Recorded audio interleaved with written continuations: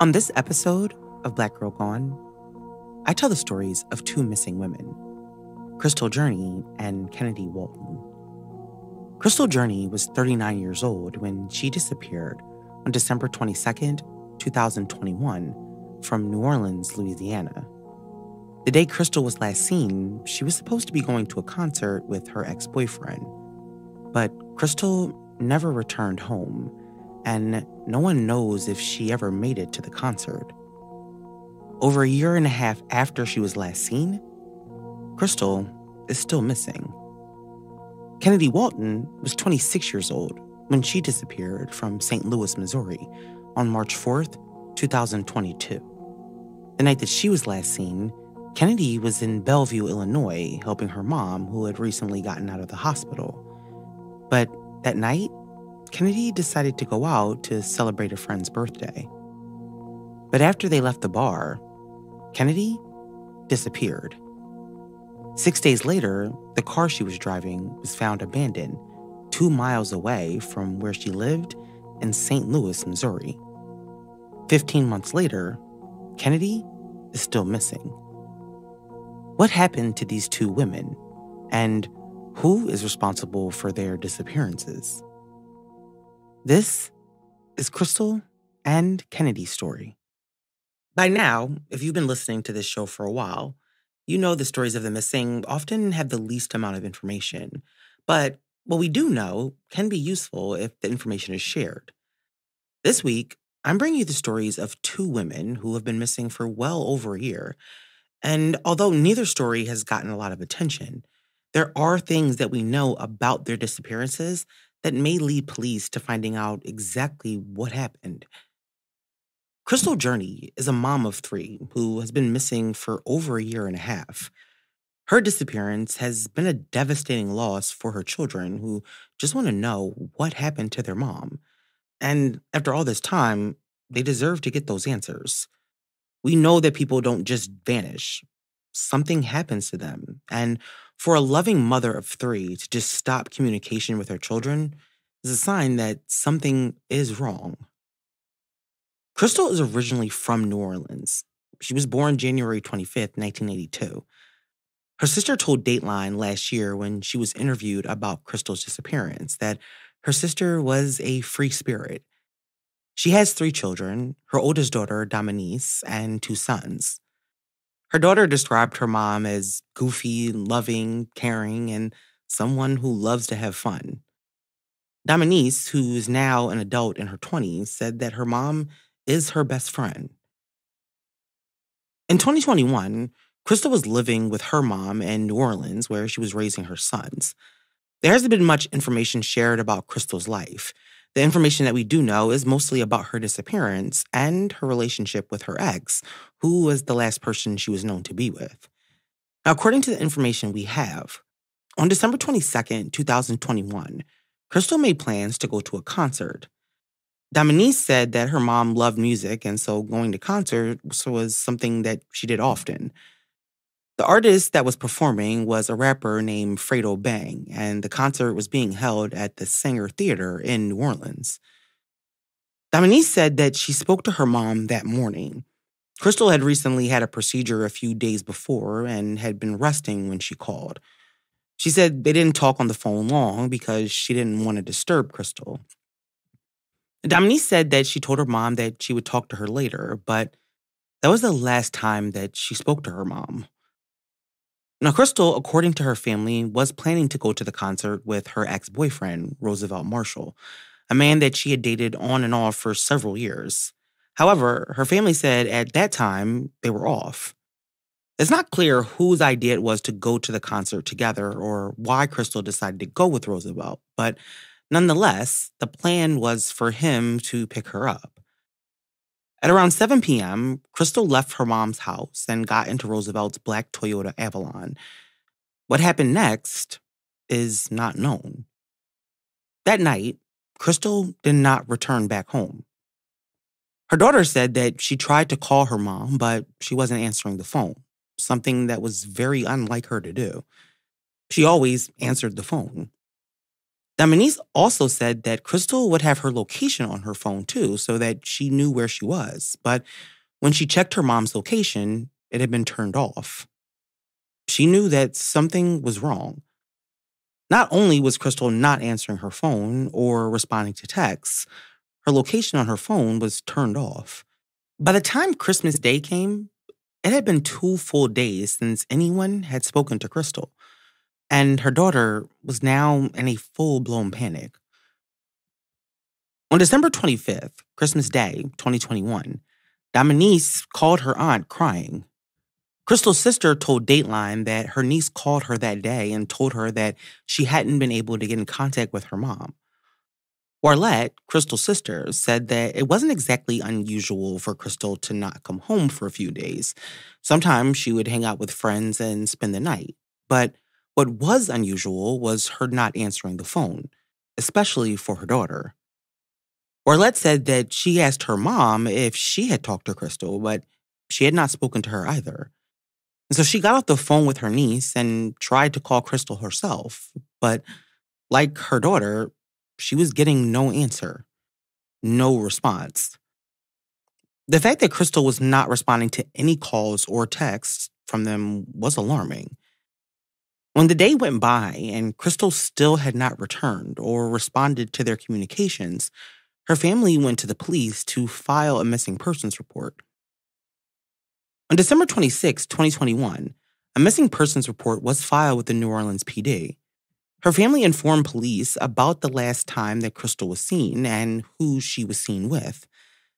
The first question in Krystle's disappearance to answer was Did she actually make it to the concert?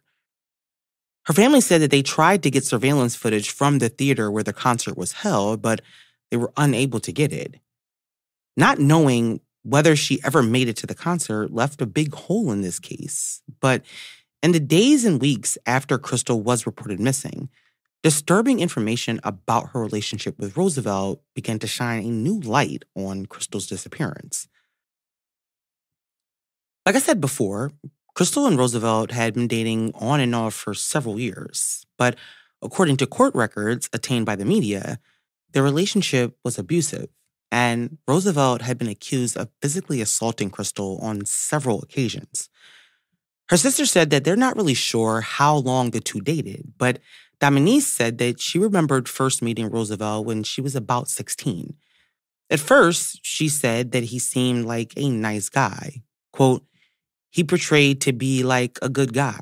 I mean, sweet, caring. That's how he came off, she told Dateline. But eventually, he began to show his true colors. Quote, I started to realize that's not exactly who he was, she also said. When Krystle first went missing, police did not identify Roosevelt Marshall as the last person seen with her, referring to him as a quote unquote male known to her. But two weeks after she was last seen, a local CBS station obtained court records detailing the alleged domestic violence between the couple. According to the documents, warrants were issued for Roosevelt on two separate occasions in 2020. On August 2nd, 2020, Roosevelt was arguing with Krystle because he believed that she was trying to break up with him. He then took the keys to a rental car that she was driving and got in the driver's seat. Krystle allegedly tried to grab the wheel, but Roosevelt accelerated, dragging her until she let go. Krystle said that when she went home, the car was parked near her house, but Roosevelt was gone. Krystle called police and, according to reports, told them that they had a history of domestic violence. She had just never reported it. She told them, quote, every day he intimidates me. It's getting worse. After that incident, Roosevelt was charged with unauthorized use of a movable and aggravated assault. Now, the second incident took place a few months later on December 10th, 2020. According to the report, Krystle told police that they were again in a verbal argument when this time Roosevelt began punching her in the face. Krystle said that she tried to get out of the car that they were riding in, but he grabbed the scarf that she was wearing. She did eventually manage to get out of the car and run away, but he chased her and she fell in a grassy area. And that's when he allegedly straddled her and began punching her in the face again. He then just got back in his car and left. That time, he was charged with simple domestic battery. Now, once information about the domestic abuse came to light, police on January 6, 2022, named Roosevelt Marshall a person of interest in Krystle's disappearance. They said that he was not wanted on criminal charges in connection to this case, but they did want to talk to him. Eventually, although it's not clear when, Roosevelt was found and was arrested on domestic violence and other charges. But as for Krystle's disappearance, it's not clear if Roosevelt has said anything about what happened to her after he picked her up. When asked by the media for updates about this case and the investigation, police will only say that it is an open and active investigation. However, in the months after her disappearance, there was very little information about Krystle's case. Her family did their best to search for her, turning to social media for help in locating information. And in April 2022, Krystle's story got some national attention when her family was interviewed by Dateline as part of their Missing in America series. At the time, the family said that they had hired a private investigator to help in their search. Sadly, however, nothing has led them to what happened to Krystle. In August 2022, eight months after she was last seen, Dominice was interviewed by the local NBC News, and she said this about her mother's case. As long as I'm alive, I'm going to keep fighting. I'm going to keep doing whatever I could. Us as a family, going to keep doing whatever we could to bring her home, to find her, to find closure and get justice. I really just want justice. Like I want closure with this situation. Whether it's like to the point like I hate to say like this to whether it's good or bad. I just want to know something. How do you go on with life not knowing where your mom is? And we don't even know where she's at. We don't know where is she's alive or dead. Is she just like trapped? Like we don't know nothing. I would really be at more at peace to know what happened and where she's at than to not know nothing at all. It's now been 20 long months since Krystle left to go to a concert and mysteriously vanished without a trace. The year 2022 brought with it some investigations and media coverage, but despite all the efforts, very little substantial information about her disappearance came to light. The uncertainty surrounding her whereabouts has been a heavy burden on her family, who continued to endure a relentless and heart wrenching battle to find answers and bring her home. From the moment Krystle went missing, her family's world was turned upside down. Days turned into weeks, weeks into months, and still no sign of her. The not knowing, the constant worry, and the sleepless nights have taken a toll on her loved ones, leaving them grappling with a range of emotions from hope to despair, from anger to resignation. As time goes on, the pain of not having answers lingers, but her family refuses to give up hope. They continue to keep her name alive, knowing that even the smallest lead could be the key to solving the mystery of her disappearance. There is someone out there that can bring closure to this family. Krystle Journee was last seen on December 22nd, 2021, in New Orleans, Louisiana. She was wearing a black hat, cream colored dress, and black boots. She is five foot five, and at the time of her disappearance, weighed 190 pounds. If you have any information about Krystle's disappearance, please contact the New Orleans Police Department. Our second story this week is Kennedy's. It's been less than a year and a half since Kennedy was last seen, and since then, her family, like Krystle's, has been on a desperate search to find her. Kennedy was raised in Belleville, Illinois by her mother and is the oldest of three girls. As the oldest, Kennedy fully embraced her role as a big sister. Her mom told Dateline that Kennedy loved her sisters. She said she would take them on drives around the city, blasting loud music and having a good time. Her aunt Marco said, quote, she was an excellent sister. She would come and get them and take them places. She would come over to the house and just spend quality time with them. Kennedy, according to her family, was a kind hearted, soft person. Her aunt said that she called her her gentle giant. She said Kennedy is quiet and that it took a lot to push her buttons and make her mad. In 2022, Kennedy was living in St. Louis, Missouri, which is about 25 miles from Belleville. By then, she was 26 years old and had moved to the city with two roommates.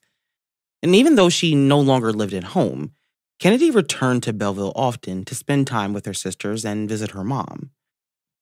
In early March, Kennedy's mom was in the hospital after undergoing a procedure. And so Kennedy, being the sister that she was, made plans to go back home for a few days to watch her sisters. According to her aunt, Kennedy had a car at the time, but she was having some car trouble. And so on March 3rd, 2022, she took the train to the Swansea Metrolink station, where she picked her up at around 12 noon. Her aunt said that after she picked Kennedy up, they went back to her house, and then she took her to the hospital so that she could get her mom's Chevy Tahoe to drive while she was in town. Her mom said that after she picked up the truck, she took her sister swimming. Now, Kennedy's mom was being discharged from the hospital that night and so, after spending time with her sisters, she went back to the hospital to pick her mom up. They arrived at the house at around 9:30 p.m. Kennedy's mom said that her plan was to stay the night at her house. After they arrived back at the house, her mom took a shower, but Kennedy had decided that she was going out. Her mom said that she didn't know about Kennedy's plans, and so when she got out of the shower, she assumed that she was upstairs. Her mom went and laid down, and so it was a couple of hours before she realized that Kennedy was not in the house. She said that when she looked out of the window, she saw that her truck was gone, and that's when she realized that Kennedy wasn't home. It was around midnight, she said, when she texted Kennedy to ask her where she went. And Kennedy texted her back telling her that she would be back in a minute. And so her mom went and laid back down. But when she woke up again around 2 a.m., Kennedy was still not home. And so she texted her again. But this time, she didn't get a response. When she woke up the next morning and Kennedy still wasn't home, she began to worry. She was supposed to be there to take her sisters to school that morning, and so the fact that she had not come back home was strange. Her mom said that she tried to call Kennedy repeatedly, but she was not answering the phone. Quote, whenever I would call her, she'd answer the phone. If I text her, she would text back within five minutes, her mom told Dateline. Now, Kennedy had always been a very reliable, responsible young woman. And so the fact that she went out and never came back and now was not answering the phone or responding to texts meant that something was wrong. And so her mom called the police to report her daughter missing. After Kennedy's mom called and reported her daughter missing, police were able to trace her whereabouts the night before. Now, they discovered that Kennedy left her mom's house at around 10:30 p.m. and was last seen on her mom's ring camera getting into the Chevy Tahoe. According to police reports obtained by Dateline, Kennedy's roommate told police that he last saw her at the Show Me Sports Bar and Grill located in St. Charles, Missouri. She had come there to meet a group of friends who were out celebrating a friend's birthday. The camera footage from inside the bar showed Kennedy and her friends eating and drinking, and there was nothing out of the ordinary about the footage. But at around 1:10 a.m., according to the report, the cameras inside the bar capture Kennedy getting up and leaving, and then she's seen getting into the Tahoe. According to one of her friends that was there, Kennedy just got up and left without saying anything. He said that when he went outside, he saw her crying in the car. And when he asked her if she was okay, she told him that she was going to be fine and that nothing was wrong. It's not clear if Kennedy ever went back inside, but when her friends left the bar, Kennedy was still there. And so they all left the parking lot in their separate cars at the same time. Her friends said that they were all driving down the highway in the same direction towards Kennedy's house in St. Louis when suddenly Kennedy accelerated past them. When the friends arrived at her house, the one that she shared with her roommates, they saw Kennedy in the white Chevy pulling away from the house, and they never saw her again. In the days following Kennedy's disappearance, her family searched the area around where she was last seen and passed out flyers. They also, of course, turned to social media, but there wasn't any information about Kennedy's whereabouts. Her aunt Marco told Fox 2, quote, We've been running around the neighborhood looking for Kennedy, putting up flyers. We've also been putting it on Facebook, Twitter, to see if anybody can just come up with anything. If they've seen her anywhere, something, because we haven't heard nothing. The mystery surrounding Kennedy's disappearance deepened when the car that she was driving was found. On March 10th, six days after Kennedy was last seen driving her mother's white Chevy Tahoe, that SUV was found abandoned two miles from where Kennedy lived in St. Louis. When police arrived at the location, there were no visible signs of damage to the vehicle, which left a lot of unanswered questions about why the car was there in the first place. They processed it for DNA and fingerprints eh, before returning the car to Kennedy's mom, who said that the car had been cleaned out and that there were several things missing from inside the vehicle. But none of Kennedy's personal belongings were found in or around the vehicle. When police spoke to neighbors near where the truck was parked, they were told by at least one of them that they had observed the car being dropped off by a black male. Although police did dust for fingerprints and collect DNA, they have been unable to identify who dropped the car off there. We also don't know when the car was dropped off either. As far as the investigation, police will only say that this is an open and active investigation. They told Dateline that they conducted several interviews in March and May of 2023 and have entered Kennedy's DNA into the national database. But in the weeks and months following her disappearance, there hasn't been any new information about Kennedy's whereabouts. Her mom told Dateline that she doesn't know what happened to her daughter, but she is almost positive that she would not have just left. Quote, I don't see her packing up or just leaving and not saying anything, she said. I think something happened to her. As of right now, Kennedy is still considered a missing person, but police have not ruled out the possibility of foul play.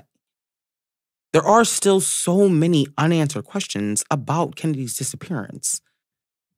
When her mom was asked about why she may have gotten upset that night, she had no idea. I mean, perhaps she received a text on her phone that upset her or saw something on social media. I mean, investigators haven't said if they checked her phone records or if they found anything there. 15 months have gone by since Kennedy was last seen, and like with all missing person cases, time has really only made things worse. It's not clear where the investigation into her disappearance stands today or what information police have been able to find in the months since. All we know for sure is that Kennedy is still missing, and the void left by her absence is felt deeply by all who knew and loved her. Friends and family have held vigils, organized searches, and tirelessly shared her story on social media in the hope of keeping her memory alive and generating new leads. In the midst of the unending pain, there still lies a glimmer of hope. Hope that one day the missing pieces of this puzzle will fall into place and the truth will emerge. But until that day arrives, they have to keep going, living each day with the weight of the uncertainty.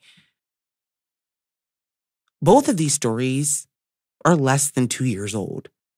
And so I know that there are people out there who saw something, who know something. Kennedy Walton was last seen on March 4th, 2022, in St. Louis, Missouri. She was driving a 2007 white Chevy Tahoe. She was last seen wearing a black jacket, black leggings, and a black shirt. Kennedy is 5'10 and at the time of her disappearance weighed 270 pounds. If you have any information about Kennedy's disappearance, please contact the Belleville, Illinois Police Department. Thank you for listening to this week's episode. Don't forget to follow us on Instagram, Facebook, YouTube, TikTok, and Threads.